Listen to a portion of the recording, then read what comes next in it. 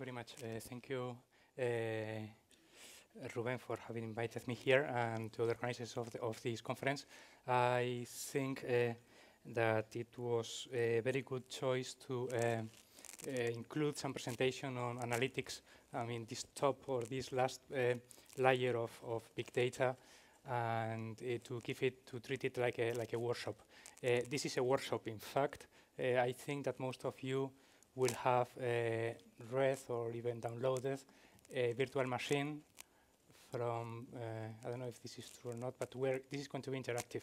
You were supposed, in fact, you were supposed to, uh, uh, because because of the light, I cannot see your faces very well. So I don't know if you if you uh, are looking at me in in, in, surprise or, or, you are already ready to to work on in this fashion.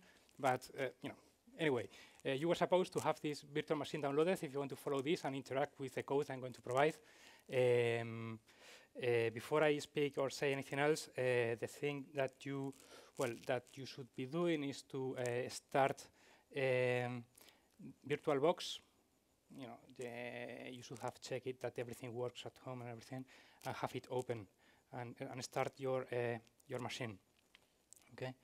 Uh, while it starts, um, let me go to the formal presentation. Start with the formal presentation at the beginning. Uh, we will go and, and, and, work on this virtual machine later on, but I want to, to make some, uh, some comments. Well, first of all, you know, this is the name of the presentation, Big Data Analytics with R and Hadoop. Uh, this is only one of the options, possible options to do analytics on big data, R and Hadoop. There are many others, but I'm going to concentrate on these ones.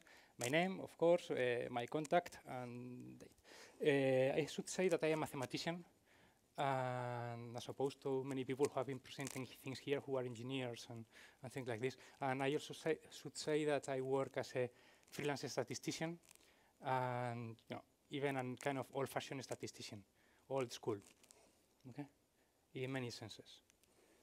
Um, for one of the one of the things that happens when you are an old school statistician is that uh, um, you get uh, nervous when people say machine learning. You know, machines don't learn. I, I try. Um, anyway, I'm going to talk about that a bit later, but. Uh, uh, computers are actually quite stupid. In fact, there is a lot of love you have to give them so that they can start doing things. You know. That seems like learning, but this is not actually learning. Uh, let me see the table of contents. We are going to start talking about Hadoop and R. You are going to learn everything about Hadoop and everything about R in four slides and then we will go into, into uh, you know, something more practical. I give you time to start the virtual machine and everything while we cover this, when we learn everything about Hadoop and everything about uh, R. Mm, first of all, a file system. A file, a file system, what is a file system?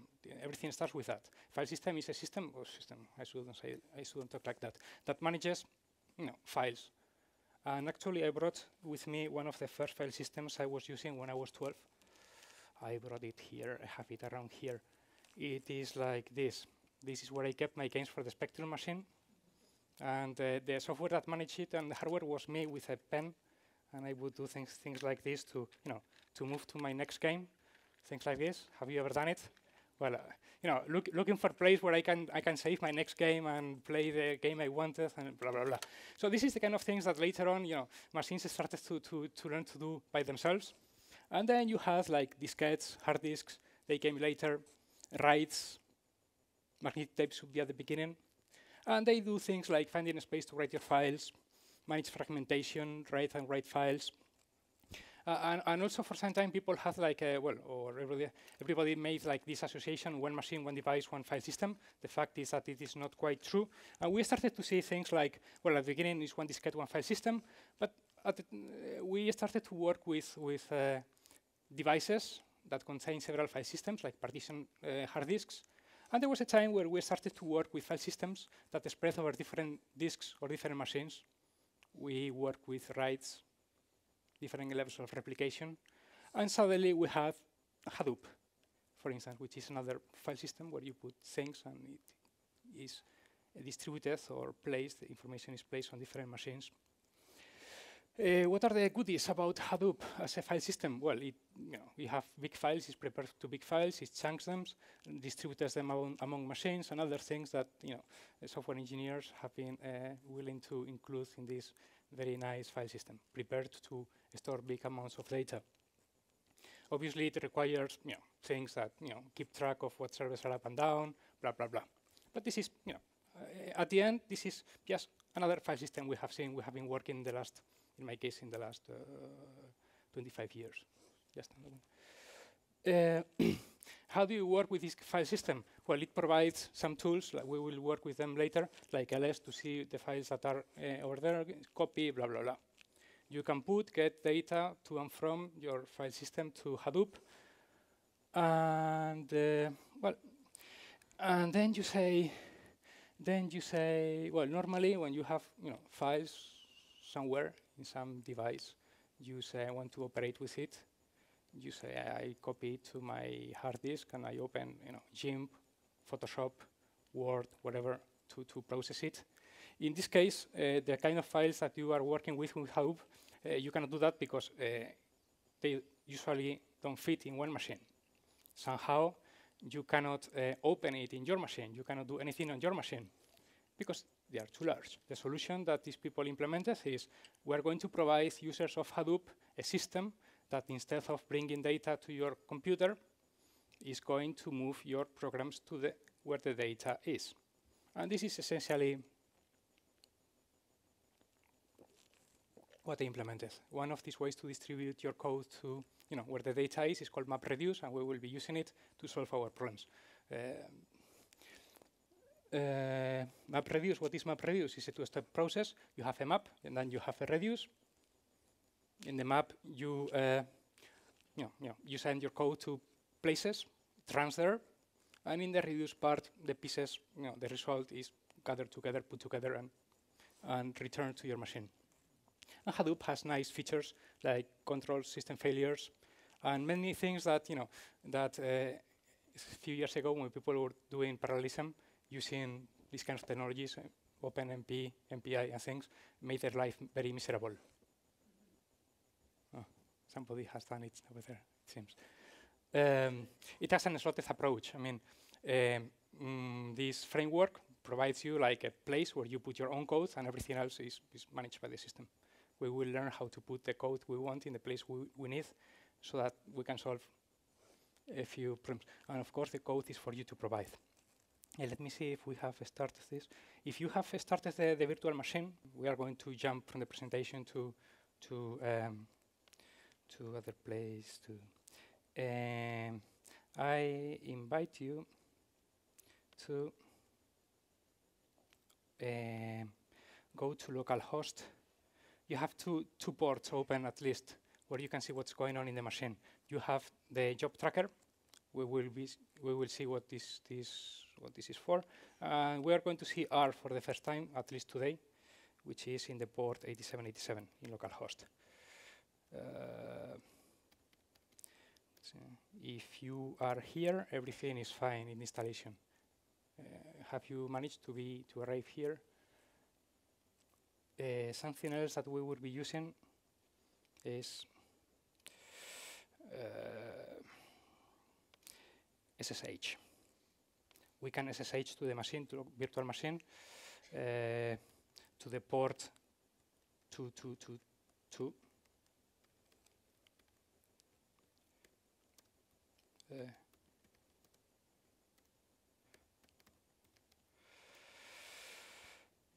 with password rhadoop, and there you are.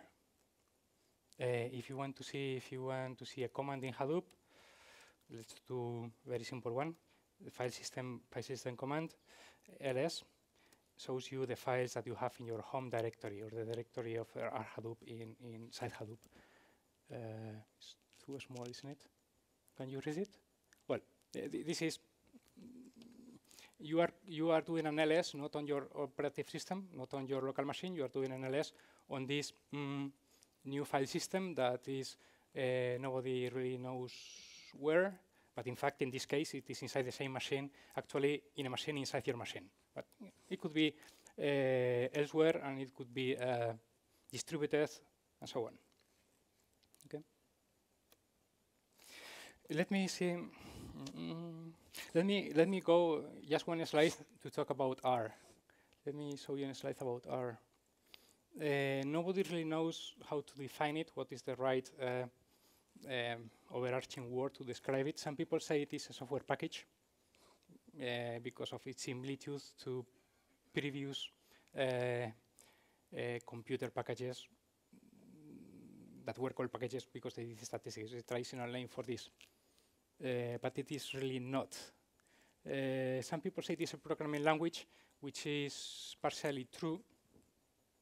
Computer scientists who see it start saying that it is a bit crappy.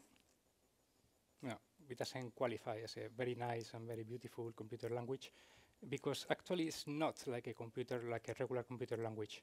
Uh, it is mostly intended for uh, interactive processing. Um, because you want to work interactively, well, it is prepared to be interactive. It is true that you can put all these lines of code or do programs and run them together, but uh, I spend 99% of my time working with it interactively. In fact, when everything is pretty and runs and blah, blah, blah, then it's not my job anymore to work with that. So, yeah. Uh, it's not some people would complain about it as a computer language. Uh, some people, because of that, say yeah, it is just an environment, an environment which means nothing. Uh, the important part is what comes later. That helps you do data analysis and graphics, essentially. Mm, this is this is R. Um, there is a lot of uh, movement around R and big data, and in some sense it fits quite well together. They fit quite well together because uh, the way people should program in R, which is very close to functional language, re resembles very much this MapReduce approach. Yeah? Uh, here you have an example of code in, in R, which is, is saying, is doing the following. Is taking a table, dfx, is splitting it by group and sex, and is applying the function summarize function summarize with arguments, you know, create a mean as the mean of the data and create a standard deviation as standard deviation of age. And when you compute that, re uh, return that to me in the form of a data frame or of another data frame. This is the reduce part. So in some sense, you are doing map, you are sending this function summarize to different uh, calls of function summarize on sections from this data frame and putting in the map part and putting them back all together in the reduce part. Very similar to what uh, we will be doing later on. Uh, in fact, this is not essentially MapReduce. It is another, it's another framework called split, apply, combine, but you know, more or less translates to the same stuff. Uh, the actual implementation uh, means that you know, in the actual implementation, this would run sequentially in your computer, but nobody's telling you that in 50 years, this code will not run distributed mm, somewhere else without changing the, the code itself. Only the implementation could change, right? And um, having said that, after learning everything we should know about Hadoop and R, let me start with, uh, with something closer to something practical. Um, let me start with counting. Uh, I couldn't resist the temptation to start with counting. Everybody does in these kind of workshops. And, uh, but instead of counting uh, words in text, which is what every, everybody does, I'm going to count hexagons. And this will serve me as an excuse to introduce a big theme that has been touched already. Um, in many cases, we, what we want to produce as uh, statisticians is graphics uh, graphics because uh, I think it is my own mm, uh, feeling. Some people, some people agree with me, but you know, I strongly agree that the way the, the, the, vocabulary you have to use as statistician, technical people uh, with uh, the public in general is through graphics. Uh, and it is an art to express complex relationships in data with good graphics. and we there is there is a lot of theory. We have had two presentations on graphics today. I could only see one.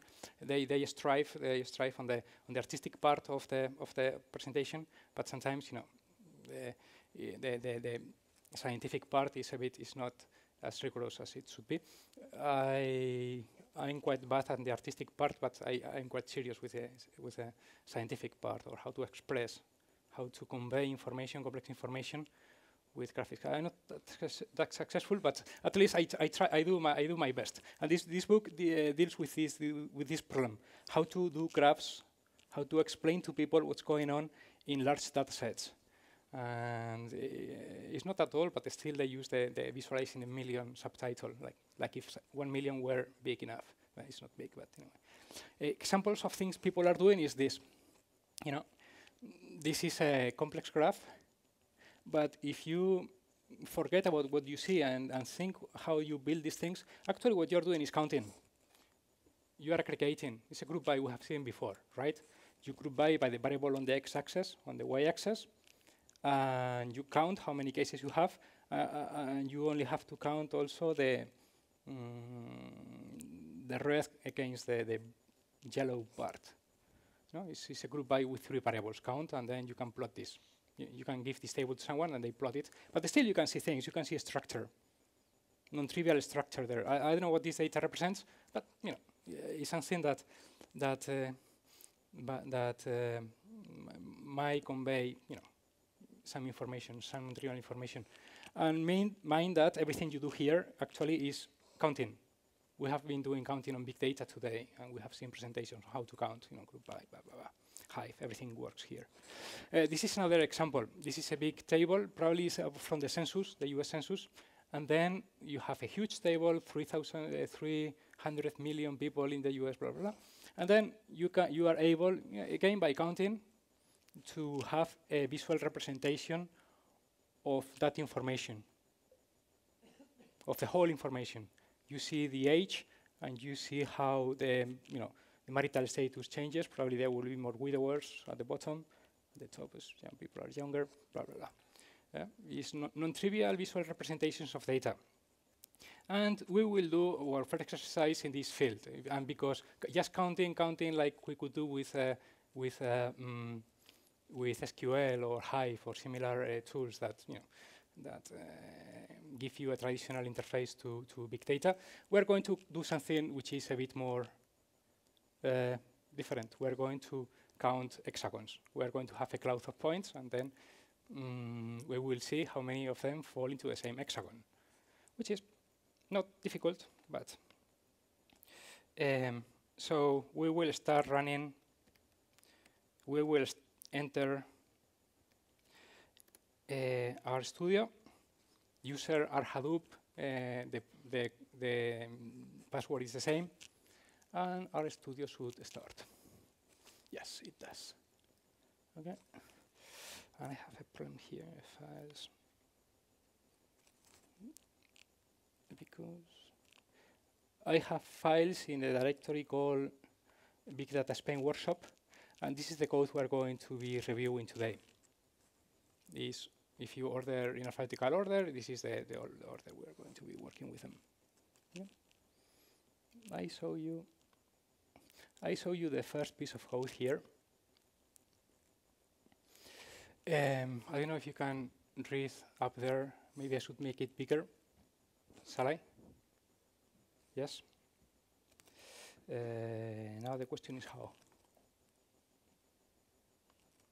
Uh, what is some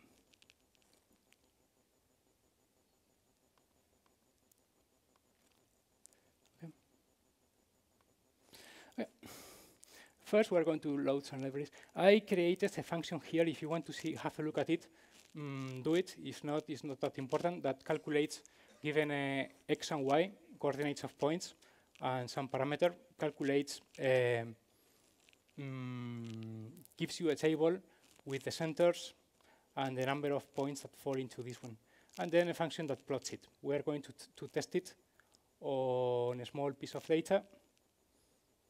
And you will run it. Mm. and it aggregates. It's a, it's a, it's a normal uh, cloud of numbers. It aggregates uh, uh, and plots it. Hmm? The function is not that relevant because usually what we want to do is to uh, um, use functions created by other people, and the only thing we are actually interested in is being able to um, mm, use them in big data environments. Apply them to data sets that are too big to fit in memory. Because uh, for data, for data this, this big, yeah, is, is trivial. Okay? so let's start using Hadoop.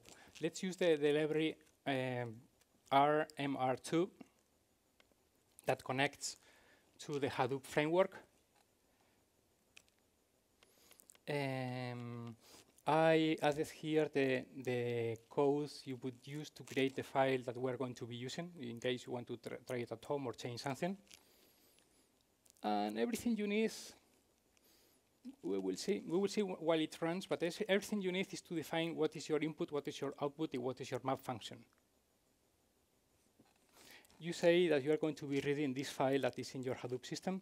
The format of this file is CSV because I have created as such. Uh, forget about the option, it's not that relevant. And uh, the, the map function I'm going to use is this one. Essentially, it's just a call to my function, xbin.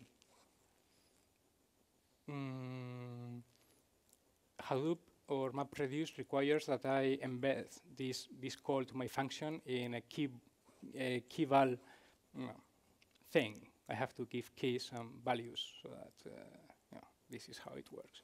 But essentially, uh, in this case, I give the same key to everything, and I, what I say is just calculate on the on the on the right on the right part the values that I'm passing you in V as X.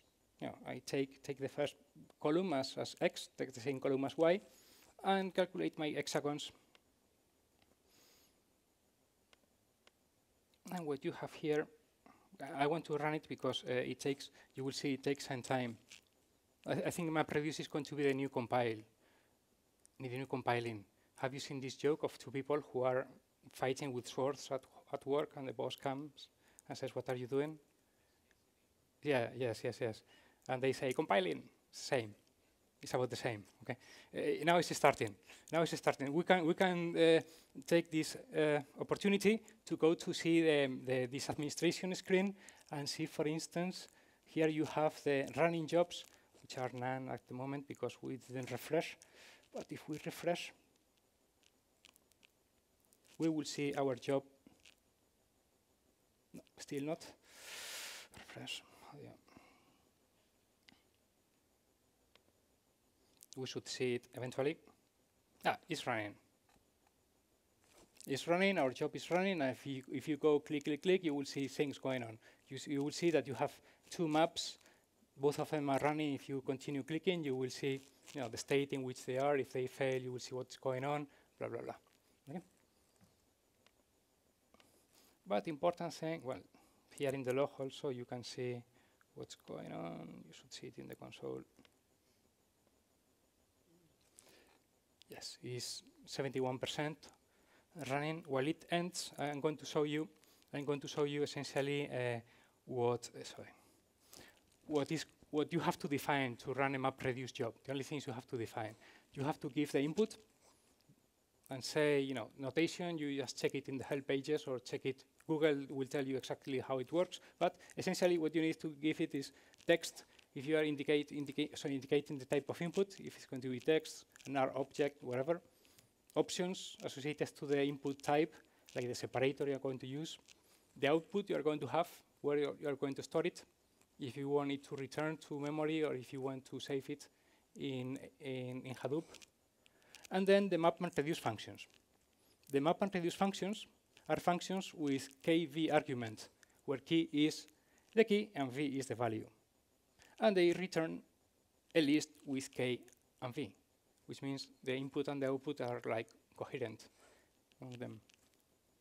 This allows you, for instance, to chain MapReduce jobs because they have to have the same, they have the same output as is required by the input. We will see the beeps. As we go to um, here. Ah, here you have the solution already. Um, let me let me do let me see how the output what the output looks like. The output is an object I call res. Hmm? The output of MapReduce is something I call res, which is an object of length two. What uh, what are its, its names? It's called key and val. As I, as I said, what it returns is something that contains keys and values. What is the length of the of the key? It has length 101, quite surprisingly. Surprisingly, um, what is the key? We define it to be one always, so I'm going to have ones. We were not very uh, um, sophisticated with the key. The important part, the important part is the is the values, the values. We're going to see them, but essentially, I'm going to run here something very close to MapReduce, but in memory, lapply. I'm going to see go values is going to be a list of or a vector of, of values, return values. I'm going to see the dimension of all these of all these values, and if I run it, I get you know I have a list of uh, what I have in, in, in values is a list of 101 data frames with three columns and a variable number of rows. If you want to see any of them, uh, you type um, you type um, uh, one, one. Hmm? This is the the beginning of one of these pieces of of that map the mapper is giving you back.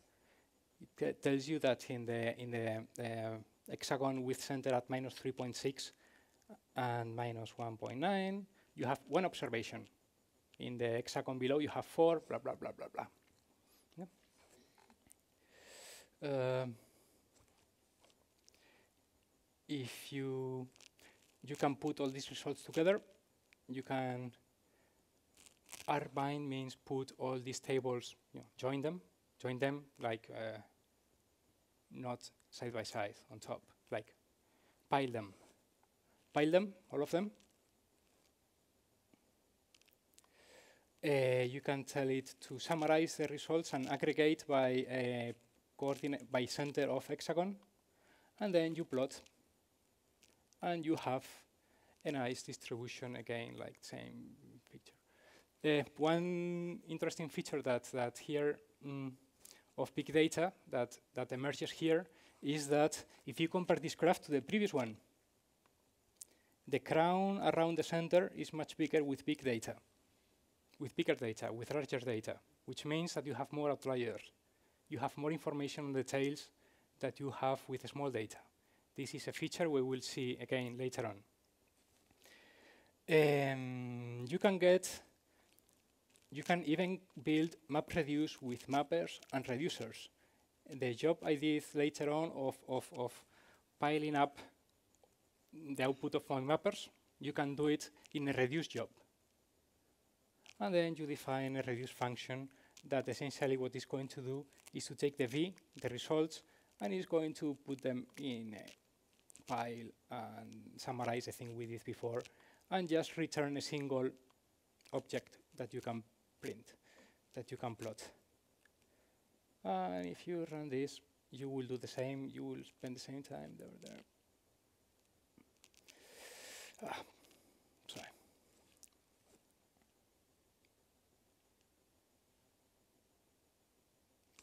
Where is my mouse? As you run this, you define your, your map reduce job here with input, the mapper, your mapper, your, your reduce, and it should be running. And it should be running. It's going to run map first, then it's going to do the reduce, and now we didn't have to do any kind of uh, work later on because everything was already, everything has already been put together by the reducer. And it's running. Um, you can do this, I tell you, I'm going to leave it as an exercise, you can do this with fancier keys. you can, instead of aggregating all the hexagons and giving a key equal to 1, which means that every uh, all the data will go to the same reducer, you can say, I'm going to put the x coordinate as the key, and then the reducer will only, each reducer will aggregate only um, hexagons with the same x value. So we will distribute better your task among reducers. In this case, data is not that big, so that that we should worry about it. But you can play if you, because you have your the virtual machine, you can play with other options and compare them and see if you like them or you don't like them. But essentially, it's the same code with different, uh, the same code always, the same function, but with different um, approaches to different selections or options of what to select as key, what not to select as key. Essentially, the answer should be the same. I mean, the, the graph should be the same in any case. This is a counting.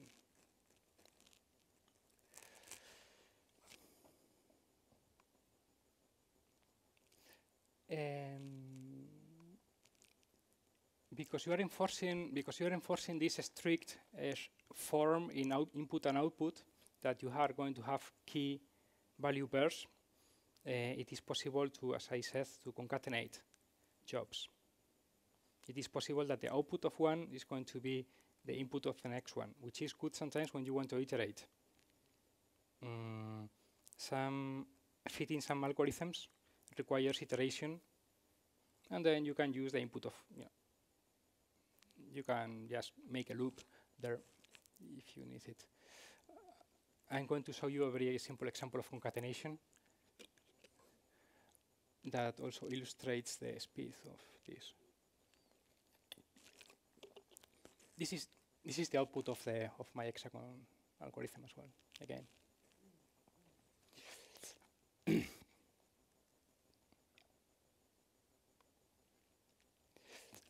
this example is much simpler. Uh, you have a function here. I define a function that takes x, whatever x is, uh, takes a object prepared to map reduce, like input of a map reduce job, and essentially what, what it's going to do is to apply the map function, which is going to have always the same key, and as value, the square of the values of the input. So you are going to pass it like a vector, and it's going to, to give you the square of it. As simple as that. Uh, if I, I define my function, it runs, and I can say, please square to me the vector 1 to 10. Okay? So this function here takes my vector 1 to 10 that is in memory, puts it, copies it to the to Hadoop, and then the function is going to try to make the square of it. It's going to do it, actually, in fact. Run.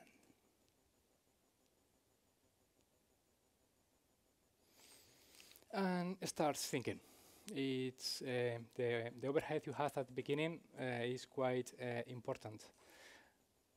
But it's going you at the, at the end, it's going to give you the numbers from 1 to 10 squared to the, to the square. Uh, while we wait for this, I'm going to show you, I want to show you what is going on underneath. yeah, for technical, we will see more of this later. But essentially what happens, what you don't see is that this command is running in the cluster. This is a, a Unix command, actually. Hadoop is the is an environment variable that points to the Hadoop the Hadoop program. We'll see. With the option jar, what it's doing is to call a jar file, which is Hadoop streaming. Uh, Hadoop streaming is uh,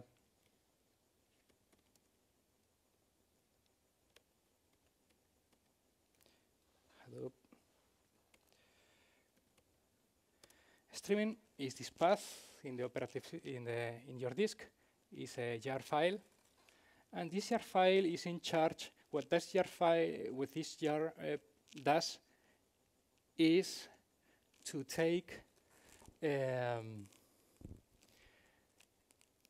together with some options. What it does is to take the input. Well, it defines an input. It defines an output. It defines a function that is what is going behind mapper as a mapper function. It moves some files from your from your hard disk to wherever, yeah, to the nodes where it's going to run. So physically copies uh, streams somehow, serializes and copies it somewhere else in the in the in the, the hard disk where this is going to run all the information you need and is in charge of running the mapper. If you have if you have a reducer, it would it would be here listed as well. So essentially, what's going on, and particularly if you are using R, what it's doing is that one of these files is going to have everything you have in memory, like an image of your memory is copied in disk, serialized, copied to destination, then read by the new sessions of R in destination, so that the environment that you are going to have in the nodes where this is running is essentially the same you have in the origin. Uh, not a very clean solution, because sometimes you have data in memory that you don't want to you know, serialize. But anyway, it works. And you can use this code or code similar to this one to, uh, you know, to serialize your own scripts. Uh, sometimes I use it to run Python rather than R. Or we will see that you can run R without, you know, without going to uh, this kind of uh, environment or a GUI or anything. Oops. Well, this finished, this ended, and you have the squares of the numbers. If you call this twice, as here, uh, you will see that you will have two mappers running one, sorry, two jobs running one after the other, and the answer is going to be the square of this other vector. So the, the small one is going to be 1, and the biggest one is going to be uh, 10,000.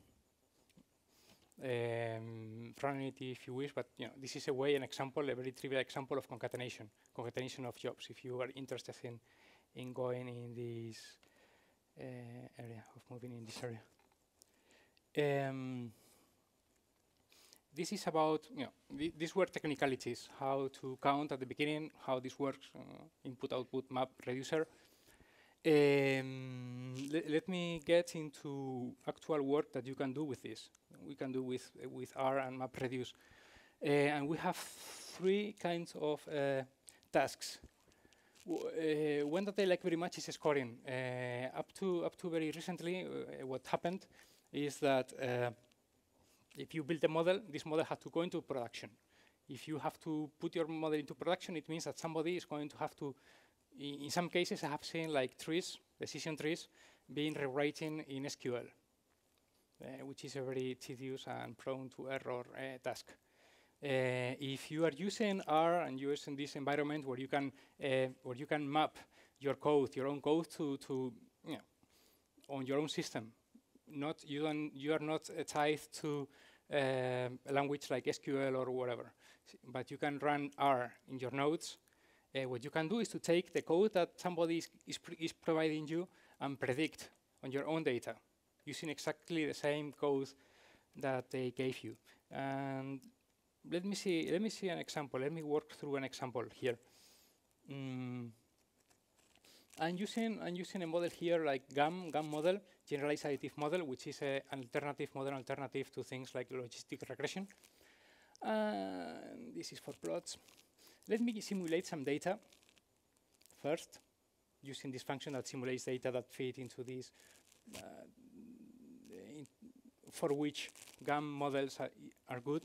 And let me uh, fit the model this would be the work that some consultants somewhere are doing. They have the data, you provided to them, and they say that this model that we are going to fit is the right one for your business, the right one for your problem, and they calculate it. It takes some time, not that much. And what we will do later on will be to save it in a file. Know, we haven't seen it, we haven't done it, we are saving it, and we're going to erase everything from memory. So your model, the model you built is going to be a file. We are going to do as if these consultants, they send it to us by mail or something. This is your model, test it. Okay? It takes some time, I don't know why. Mm, any object that you five minutes to end? Seriously? Wow. I was scratching the surface of all of this. Anyway, uh,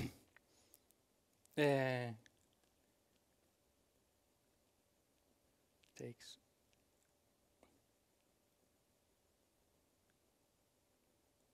well takes some time. Th these things are not trivial.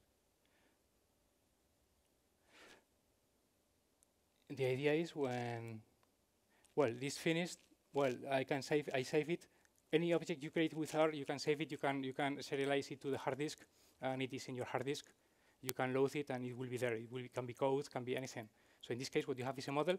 You erase everything from memory, and what you can do, what you can do is to generate a new data set. You write it to your Hadoop system directly, like using uh, file system commands.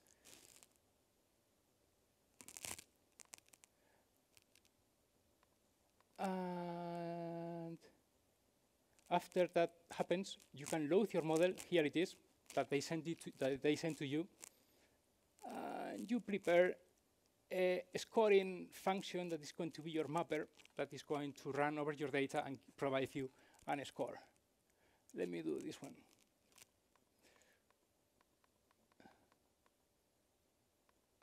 After that, you, redu you reduce. And you will have this thing going on. While it, while it runs, I will tell you, I will tell you a few more things. Uh, sampling. Sampling is something that you do all the time. You have to do it. You are in big data, sampling works, and this is a way to reduce your big thing to something more. You can work in memory. Working in memory is great. Uh, and it is like a paradise we don't want to be expelled from, regardless of the promises of big data. So it works running simulations. I have an example of how to run simulations. The people say uh, Hadoop is to uh, you know process data, but sometimes you want to generate data, but not reading. Uh, and Hadoop, uh, you know, if you go to internet, it is full of people asking how can I simulate. And I have an example how to simulate, how to use this big infrastructure, not to crunch data, but maybe to produce data or to create models that require a lot of simulation, or just to do simulation. And have an example to calculate very inefficiently by uh, using Hadoop.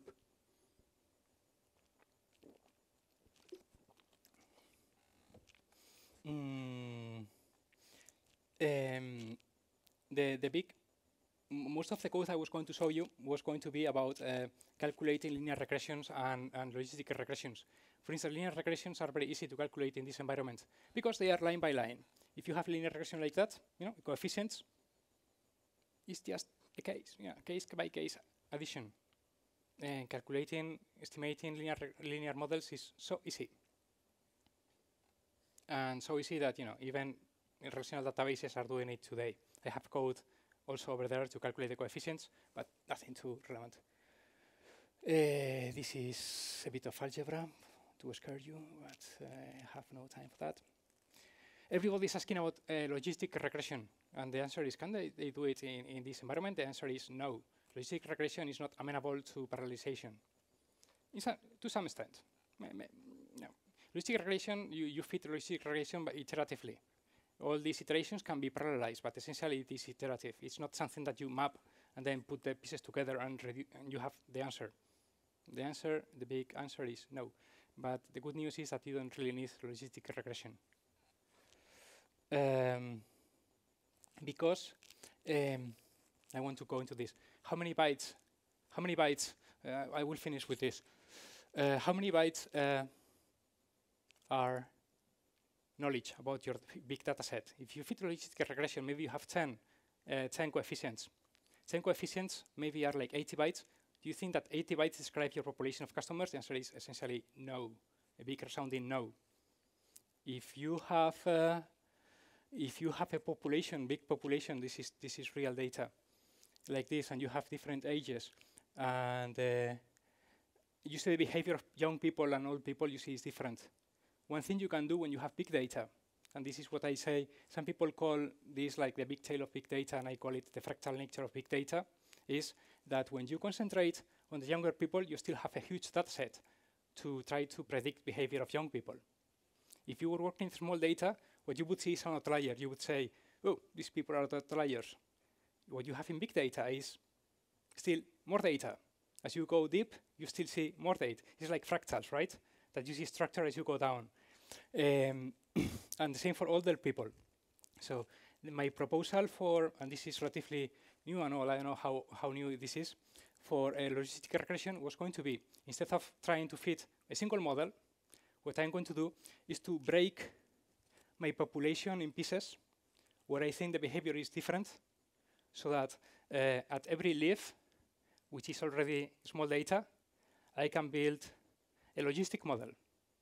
And this logistic model is going to give information only on that population that I want to see. And also I can see the coefficients and understand how this population differs, how the behavior of population differs at every level. Which is, uh, this is an approach that I think is the right approach to big data, where uh, it's not fix fitting the same old models as you were doing, but um, profiting from the abundance of information to look for uh, behavior, different behavior on things that before you thought it was outliers and now become niche regions okay, of interest. Uh, the code is in your in the virtual machine. I think it's worth having a look at it, but I don't have time to. People are doing things with uh, logistic models and sorry with trees and random forests as alternative to logistic models, which can be parallelized in different ways. But I will not go into that. I wanted to finish. I wanted to finish with only with this.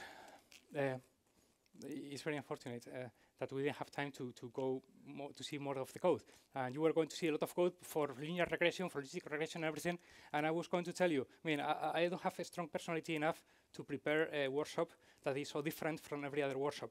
And everybody is asking about linear models and logistic models. Yesterday, this guy from Barclays, a good friend of mine, told me, uh, have you done logistic regression for tomorrow? And I said, no, don't ask me that to me already. Everybody's asking me that, that to me. Uh, not, not you, please, but he did. Uh, and people think that it is big data. I think people are striving a lot to, uh, to bring into this new environment the old things they were doing. Linear models are 200 years ago. Uh, people think it's Gauss who invented them. We're talking about 1795, 1805. It's about that time. People are still people still want to build them now. forget about it. Logistic regression is about 70 years old. Some people say 150. Do you still want to do that today? The answer is a resounding no. Uh, big data calls for new methods to analyze data. You are not satisfied with a few coefficients. And uh, these workshops, like the one I'm doing today so badly, uh, for some reason concentrate on these old models that I don't want to hear to hear about anymore in my whole life, including things like K-means and things like that. That you know, I have to do them too, too, you know, because it's what I have to. I work. My customers pay to me to do that, but you know, I don't want to do that anymore. I have done it. They have been doing this for the last 60 years. I'm bored of that. But however, however, there are other fields where they are doing, you know, yeah, when, when you talk about big data, it's because you have problems that actually go beyond what you can do with machines like this, which is 600 euros. Okay, you need big, you know, big. You want something big. and I have been working in things like uh, social network analysis, text analysis, and this is where you need, you feel that you need uh, big, you know, cannons. And the models they are doing there, I think they are very promising very promising in, in marketing as well. Things like uh, applications where, where uh, logistic regressions and simple models have been kings. Mm. For instance, when you do logistic regression, you assume that every observation is independent of each other. Hmm? When you do linear models as well, this is essential. You know, the error is uncorrelated, they say, but it is not true. It is certainly not true. People are correlated correlation depends on things like, you know, uh, how close are you to the other. Uh, people are doing things like small area estimation. Small estimation is what is happening in a small village. When you estimate what happens in a village, anything can happen in a small village. The the the the say, the rate of of cancer can be 10% because 10 people live there and one got cancer. When you do a small area estimation, what you do is to aggregate to to uh, to mm, smooth information with things you have around. When you are doing talking with people, you have distances between people, you have similarities. The effect of the behavior of one person depends on the effect of other persons who are similar to, to them. And these things these models cannot deal with, but new models can. And this is what doesn't fit. I'm very bad at fitting content in one hour and a quarter, but uh, that would be impossible to explain, but it's like the promise, I, thi I think it's the promise of big data in this uh, world of uh, prediction and analysis and explaining behaviors of things. And I'm very sorry that it could not be as interactive and I calculated so badly the time. I tell you something, uh, you know, I'm a mathematician, I'm a bit upset-minded, and until very recently I thought I had four hours. Then I checked last week, I checked the time and I have, I have been eliminating content, content, content, and still I calculate so badly. Uh, I like all these things so much that I could be talking. If you want to, if there's going to be a movie, we, we leave. But if not, if you want to continue, I stay here and I continue talking about these things because I like it so much. Anyway, uh, uh, yeah, have a slide where it says thank you and questions, and I will be pleased to answer any if you have. Actually, Carlos, it wasn't your fault at all. I think I miscalculated the time as well. Ah, you, so there, there goes. Uh, you can blame me. no, no, no, no, no. It's, it's, all my fault. It's all my fault. No, no, definitely not. So um, we are all quite uh, wary now, but shoot some questions if there are any. Yeah, please, there, over there, at the top of the. Yeah. Um, well, uh, as a uh, hello. as a background, I just only tell I used only R to compute some simplex. So I'm not, I, I don't have much. Yes. Uh, well, um, what I wanted to say is that the idea I have after your talk is that with R and Hadoop, the only thing you can do is just create some map reduce, uh, just a job like yes. when we have to program a map and the reduce and in the hardest way. I mean, uh, if you take the idea uh, not talking about the last you comment about data uh, data scientist, that yes. is interesting too, but about using Hadoop um, really is the, the hardest way as it is implemented. Isn't there just a, a library or something I like to easy this all of this? Uh, yes, there is some uh, libraries facilitating the work of doing some calculations in Hadoop for some particular tasks. Yes, and actually very recently you have one, I haven't been able to test it yet, uh, for doing um, this kind of, uh, you know, PLYR library, P-L-Y-R. This is being ported to, to MapReduce, or at least so they claim. Uh, thing is that if you're, you know, um, having to move from memory to other things is always a pain. Uh, and I think this is about the least of the pain you can get if you want to program this in, uh, in Java, it's going to be much harder. And if you look at my virtual machine and go to the directory called Simula, you are going to see a short simulation that is very, is very that, that is much simpler. I think, I think this would be about the simpler you can get. And it's not as complicated as it might be, it might have, it might have sounded here. And it is actually very, uh, how do you say, mechanical. You do it once, yeah, you have it, you master it. Uh, well, map reduces, I, I really don't think the same. I mean, if you have to deal with map and reduce and implement it and, and changing jobs, uh, it's not that easy, in my point of view. It's well, nothing I, easy. I mean, it's, it's, but anyway, uh, just a suggestion, another way of seeing it um, to implementing R would be something more like Pig or something more like Pig. That's the, the real thing.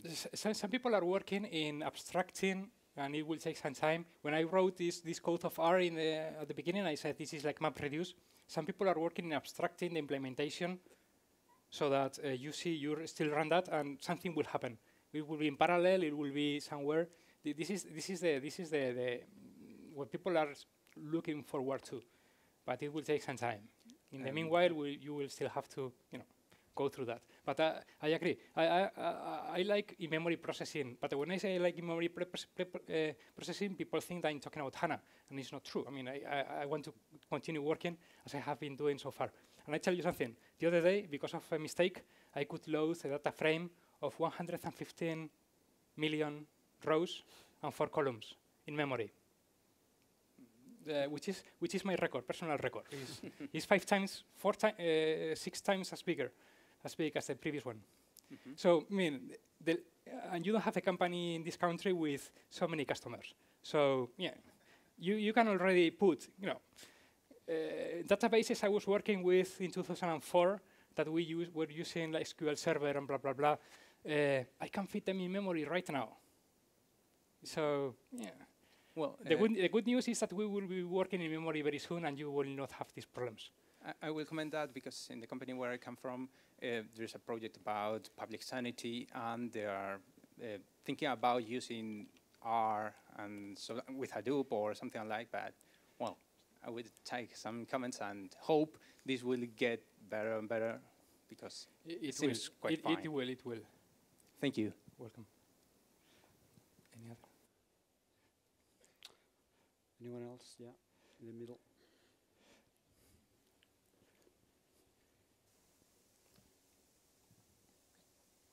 Uh, hello. Hello.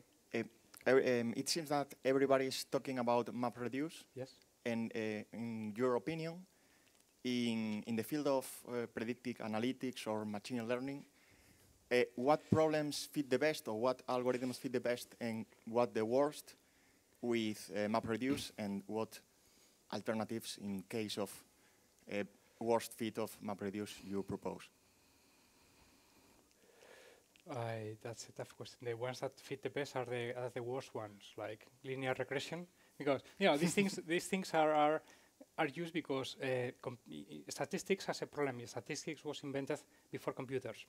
And because it was invented before computers, uh, people started using uh, solutions on tools that were easy to compute and not the ones that were both best for problems.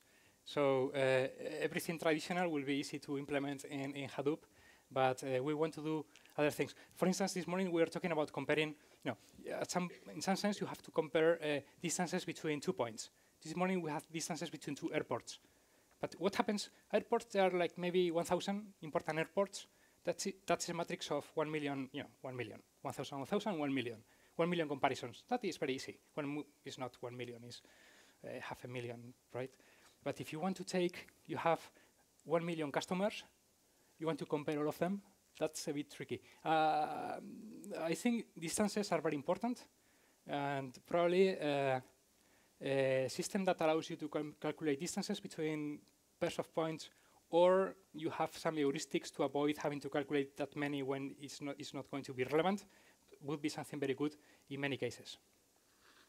Uh, and I'm still looking for it. I, I can do it for, for smaller data sets or for samples or things, but I would like to do it in massively. And uh, I'm a bit f- still far from it. Okay. Welcome. All right, so I think with this we should finish for the sake of uh, the program. I don't know, Carlos, how you managed to make uh, statistics so inspirational. So thank you very much to everybody.